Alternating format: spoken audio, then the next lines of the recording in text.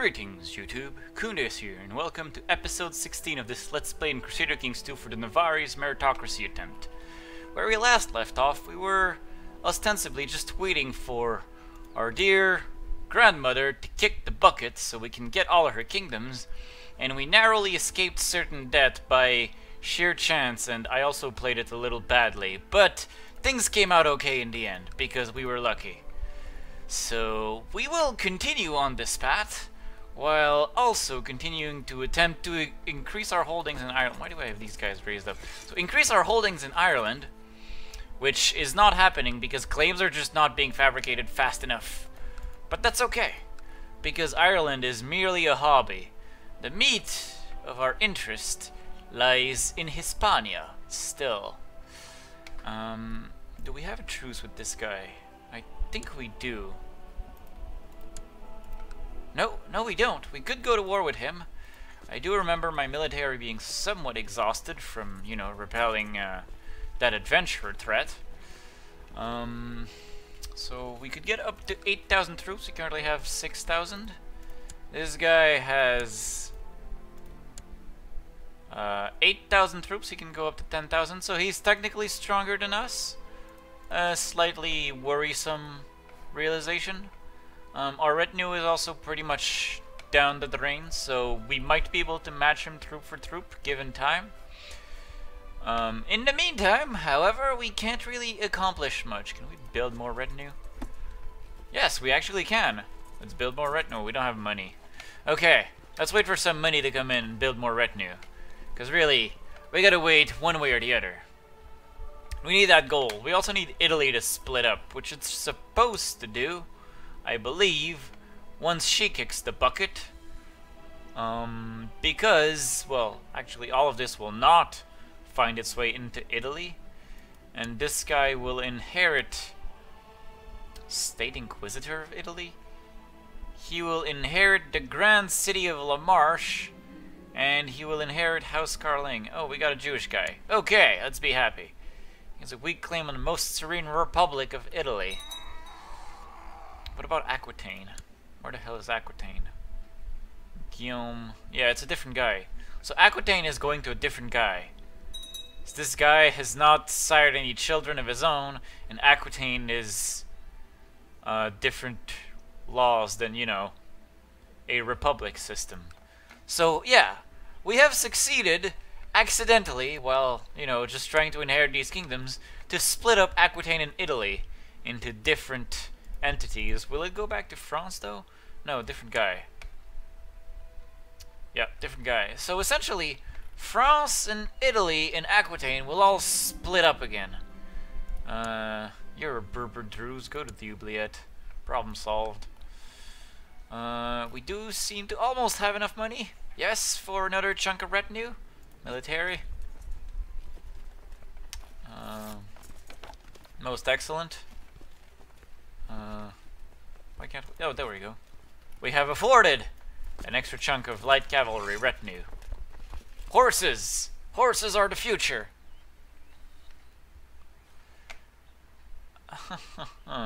so we're making a lot of money still, which is good. Um, we did set up an anti-pope last time. I'm kind of getting back into it because it's been too long for me to.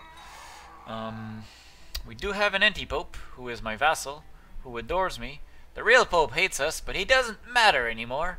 The moral authority of the Catholic faith is still way too high, largely because, well, we've been winning a lot of um, a lot of holy wars. 54% of that moral authority is from one holy wars. So, yeah, we're gonna have to lose holy wars, but I, I I personally don't want to lose holy wars. It just means I'll have to stop waging them for... I can't do that. I need to beat this guy at least out of Spain. Let's be realistic. So, we're gonna have to find another way to weaken the Catholic faith. Um... Ooh, lots of moolah! Hooray! Let's spend it on more retinues, because retinues are awesome. My half-sister is a cool person She's gonna get married to this uh, bastard so that, you know, um, more people of our dynasty, better choice. Sounds good. Sounds quite good. Marriage has been approved. Uh, we have made our cousin the next heir in line. She's 23. She's Midas touched, which makes her awesome. Apparently it's a regular marriage, but it doesn't matter because the they're both of the same dynasty, so they're being like inbred a little, but it doesn't matter. Inbreeding is fine here and there. We'll be alright. We won't have to uh, go through an inbred homosexual empress again. That was a pain. That was quite a fun pain, though. That was hilarious. It's also a great story to tell people. You know, when I run into someone who actually plays Crusader Kings 2, I get to be like, yeah, I once I once played as an inbred homosexual empress. That was fun. Everything went to shit like in five seconds. But not in this game. It was in a different game, in a different timeline. For we are rewriting history again. And in this history, the Byzantine Empire did not get crushed by the 1.07 update. In fact, it doesn't seem like it's going to at all. It just seems like it's like, I'm to expand. And I'm to keep expanding. It's like, hum. And then there's these guys who somehow took a chunk of it. They somehow took Armenia. Oh, we have a claim! We have a claim on Thomond! We have a claim on Thomond! We can, we can totally push our claim. We're broke. We can't push our claim. Alright, let's wait. Because we're broke. We're totally to push our claim. Oh, and there's Eidolon's oaths that we'll have to contend with. But that's acceptable. Oh, someone fabricating claims? Make them disappear. Who cares? Oh, Betrothed can marry. Betrothed can marry. Oh, I can get I can get married to a genius. Yes. And she's an underhanded row, which five percent. Oh. I mean, you're craven and arbitrary, but you're diligent genius. Think nice things are gonna come of this. Let's get married. Yeah. Oh, he's dead. Good. Chancellor deleted. Success. Oh, we can make money. And with this money, we can go to war. Aidon's host. We'll have to beat down Aidon's host. But it's okay, we have an amazing retinue. In fact, I think our retinue alone can do it. But can we raise enough boats? Boats. No boats. Boats? Two boats. No boats. No boats at all. Four boats. Where are my boats? No boats. I have boats. Three boats. No boats. No boats. And no boats. This is where we're sad.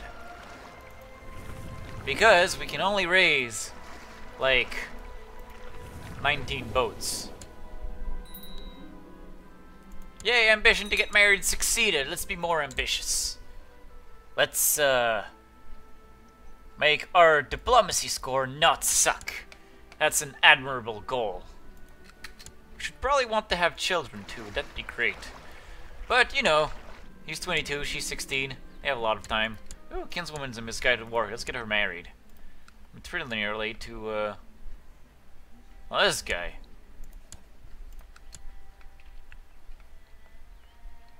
Let's get the boats united. Still, wait, maybe we can have more boats from Ireland. Nope. And nope, never mind, false alarm. Can we build boat buildings? Uh, city shipyard. I don't have money to afford more shipyards, I guess. Yeah, there's uh, a lot of missing boats.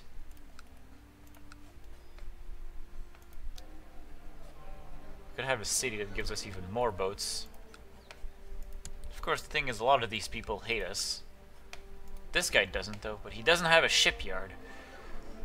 And I can't make them buy a shipyard. Well then. Alright. Wait, what about Marrakesh? Which is actually our holdings. No boats. Nope. Nope. Nope. No boats anywhere. Could build castle shipyards, that'd be great. We're gonna have to beat to, to build some boats. We're gonna have to become a naval empire. Oh, a scolding! How dare he! Let's have someone react to it. Oh, someone likes us. Our scolding was just. Okay, now, can I split these guys? Split in half. You get on boats. Let's ferry you to Ireland.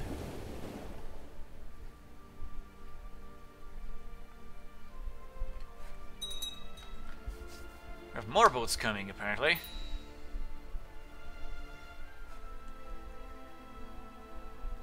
Boats are in Ireland. I hope we won't need that retinue soon. I so hope we won't need that retinue soon.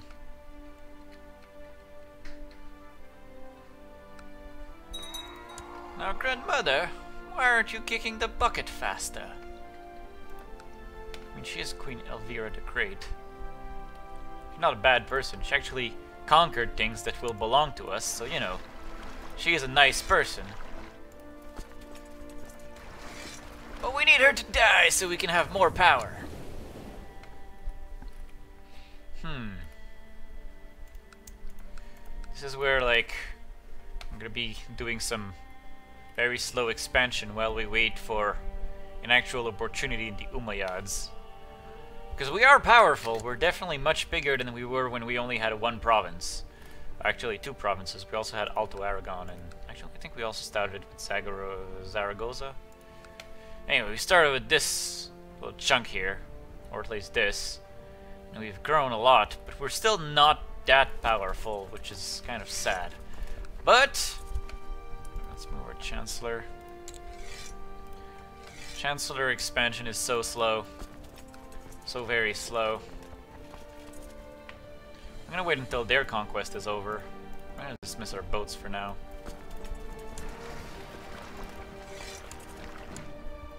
Not like we'll need them anytime soon. Hopefully. Hopefully our retinue will triumph against that. It's all crappy units anyway. We have horses! Although our horses would probably benefit from having leaders. So let's assign some leaders. Leaders above 8 are a good thing. Leaders below 8 are a bad thing, and you're better off leaving a 0 because that's how the game mats it. I was surprised to find that out. But yeah, it's actually like an incompetent leader is much worse off than letting the troop, like, pretty much lead itself. Oh, we have 180 gold. Can we afford, like, boats? I need shipbuilding, at least level 1. Technology? Isn't shipbuilding one? It's one in my capital. But I already have a castle shipyard. I need shipbuilding at least two. And build shipbuilding at least two. Yeah. Alright, let's build let's do that. It's kind of a waste of points, but uh, I need boats. This is ridiculous. More boats, seven more boats. Should allow us to raise boats and be able to ferry all of our new retinue. It's not an investment I like doing because military organization is just too strong. Especially since retinues are just too strong. Like, the more I've been playing these days, the more I just feel bad using retinues these days. Because, oh, okay, okay. Thomond has flipped. Thomond has no defenses. There's a new guy on the block. He has event spawn troops. But we have an OP retinue. Charge! Going to battle. Totally winning. It's actually not even close. Horses. Horses are amazing. Where is he retreating to? It doesn't matter. We're gonna stack wipe him. There we go. Now let's siege Thomond. Have to remember, the ratios for assault are different in this game than in EU4. Which, I know I've been saying for a while I'm gonna start a new series, but I really will, really. It's just, I still need a few more things to line up before I have the extra time I expect to allow me to run multiple series because, you know, I'm still technically a salaried employee, so I have other responsibilities to attend to. This is still pretty much a hobby, which I hope you guys enjoy as much as I do, because this is damn fun. So, I do envy those people on YouTube, though, who make a living out of, you know, playing games in some way. I know it's hard because they have to play the games that, you know, fans expect and they have to output a lot of videos to actually make a proper living out of it. But, you know, the grass is always greener on your side, and there's something to, to be said about being paid to play video games. That just, you know, it's better than game testing. You know, we're game testing, you're not actually playing video games, you're testing video games. It's a huge difference. I know, I speak from experience. Um, yeah, oh, did our, did our name just change? Did we, I, I feel like there's something in there that wasn't ours before. Maybe I'm just imagining things, because we definitely got... Metola is part of Beja, which is de jure this. This is part of Civi. No, I guess we always had that. I just never noticed that my name was now, like, making a half circle, being all fancy. But yeah, so game testing and game playing are two completely different things. So, yeah, I think it's kind of interesting to be able to, that, like, YouTube allows people to make a living out of just playing games and having other people enjoy watching them playing games and sharing like because really when I started doing these videos I didn't really consider being able to make a living. I just really loved Crusader Kings 2 and had no friends in my vicinity who played it and I figured well you know I could play the game and find people who enjoy the game and then we can discuss it on like YouTube comments or something. Which is, I've actually been putting a lot of effort into replying to people who reply on my videos. I like creating that kind of engagement and just like, when people point out my mistakes, like, someone commented two videos ago, like, the reason one of my holy wars ended was because the Umayyads converted to, like, something other. Like, I think they were Druze and converted to Sunni, or went, like, they were Sunni and went Druze and now they're back to Sunni or something. But because their religion changed, my holy war was no longer valid, even though I was still technically killing them in the name of Jesus. Um, they weren't believing the same version of Allah, so somehow that invalidated my reason for going to war. Oh, he's surrendering. Alright. Well, fine. Mine. Probably could have made that faster, but I wasn't really in any hurry, so... Let's invite a holy man and have him rule in Navarre, in Thomond. How how would you pronounce this? Otxoa? Otxo The Arcos? Interesting name. Very interesting. I'd like to know how to properly pronounce his name. That is definitely an interesting name. Um, hmm.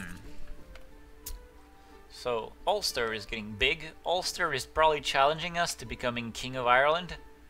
They've also expanded in a chunk of Scotland, which is really interesting to see Ulster being strong right now. I mean, usually... Huh. England is looking pretty fine. I mean, usually, like, the Vikings just, like, tear England a new one. But now it seems the Vikings have, like, completely calmed down. And it's only 939. We're not even in the thousand yet. You know, normally, like, in, like, a hundred years, there's, like, Duke of Normandy, who's like, yeah, England's mine, let's go to war, and he wins and he kicks their asses, but, uh, you're normally, when you start playing from the Vikings playthrough, no one ever really unites England, and it starts to look like a really massive mess really quickly.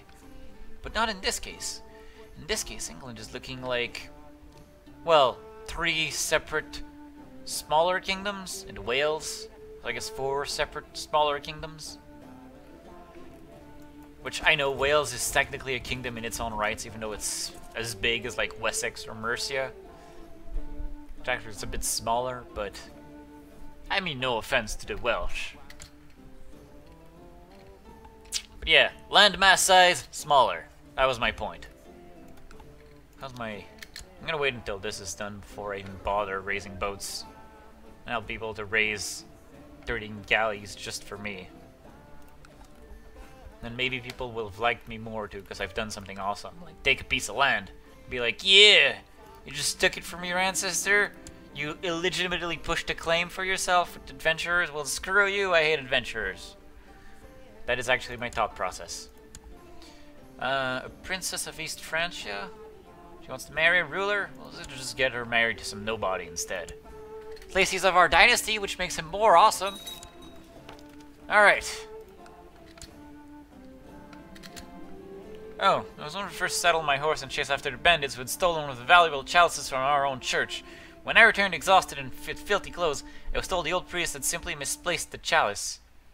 He appreciated my effort, at least. What? Apparently I put myself in danger with bandits. Man, I'm awesome! Hmm. So this castle shipyard is almost done. And let's see our opportunities. How united and strong are the Umayyads? You're hostile towards something. I can still go to war with you. You have less total troops and less current troops. Meanwhile, my forces have largely regenerated, so now I am slightly stronger than him. Which means it is time for war once our troops return from Ireland. Come on, boats. Finish yourselves. Let's actually just uh, raise our fleet levies. Like uh, every vassal fleet that we have, which is 21 boats.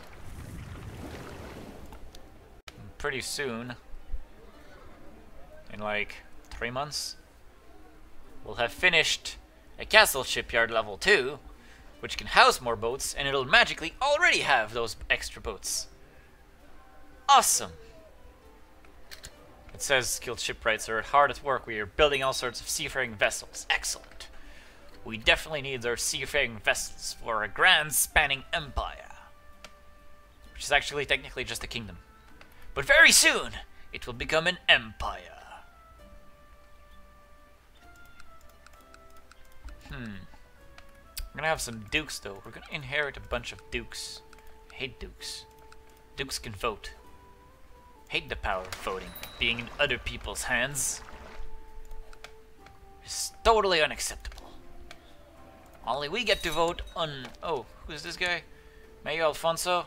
He's a good guy. He's not a heretic. Let's give him a pat on the back. Well, some people down here need to convert. Like, uh... Oh! They are. They did convert. Great. Got Druze province. Let's convert that. Anti-Atlas. Marrakesh is properly Catholic now. Excellent. Excellent. So how's our boats? Our boats should be ready. Castle Shipyard. That's right, our boats are ready. 26 boats. Excellent. Let's go get our retinue. Maybe we can even declare a war already and just, like, surprise boat drop. That's a bad idea. Because of the naval landing penalty. But it would still be awesome! Surprise horses! Let's go here. Where retinue will be poised to strike at his capital. And we'll want Granada. Because Granada is nice and big. Why aren't people kicking the bucket? This guy is still alive. This grandmother of mine is still alive at 65. They need to die. We need them to die.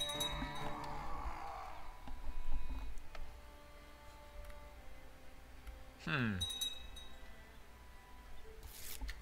Good, something good has happened. Conversion. But is it a province? I don't think it's the province. It wasn't that fast. No, it wasn't the province. Okay. Cavalry made it. We don't need the boats anymore. What we do need is a war against this guy. Yeah, now he is currently still weakened. Alright! And he has a troop here that we'll be able to squish on day one. Let's wait for some time to pass. And I actually forgot to press start on my timer. I am a genius, but I think it, I'm actually really close to end of a video, so I'm actually going to use this opportunity to cut this one maybe a little bit short, and I apologize if you guys like my consistent videos, but that's because in the next video, we're going to go to war with this guy. We're going to kick him in the face and be like, hey, meet our horses. Our horses are awesome. And I'm going to raise our, the rest of our troops and, you know, kick him with, with that too. But first, the horses. It's going to be awesome. Look forward to it.